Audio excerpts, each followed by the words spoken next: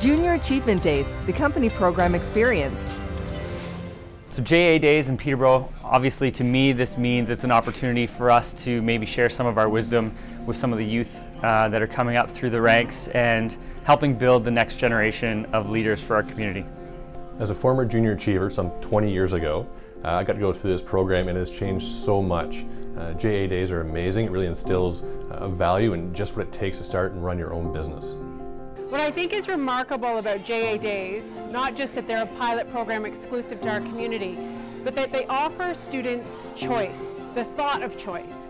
If you don't fit into a certain lane or you don't fit into the school system, JA and Junior Achievement allows you to know that you can fit anywhere. There are opportunities for anyone. Junior Achievement. Together, we're better.